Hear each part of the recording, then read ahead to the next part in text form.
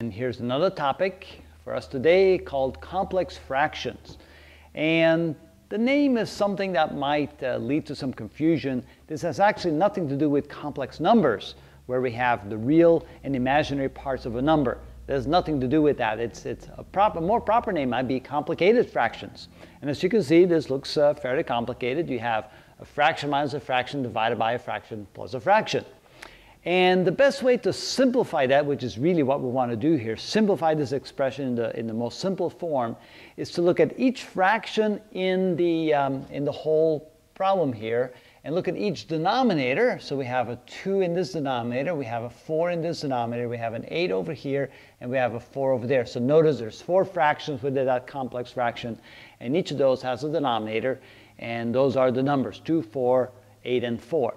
So the trick that I like to use here is to find the lowest common denominator of all the denominators of all the fractions in this complex fraction.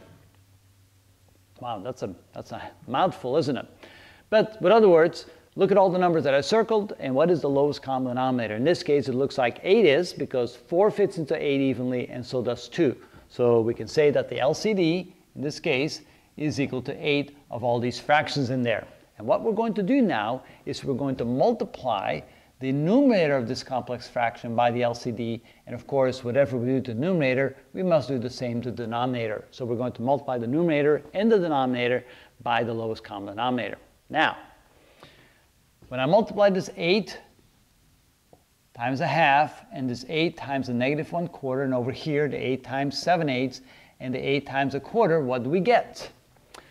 Well, 2 goes into 8 four times, so 8 divided by 2 is 4, so that ends up being 4 times 1, which is 4, minus 4 goes into 8 two times, so that becomes 2 times 1, or minus 2, divided by 8 divided by 8 is 1, so essentially this is 1 times 7, and 4 goes into 8 two times, so that becomes 2 times 1, or plus 2. And now we just have to combine terms.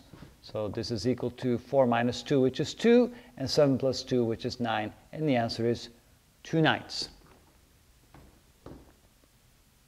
Okay, so let's do a few more examples like this.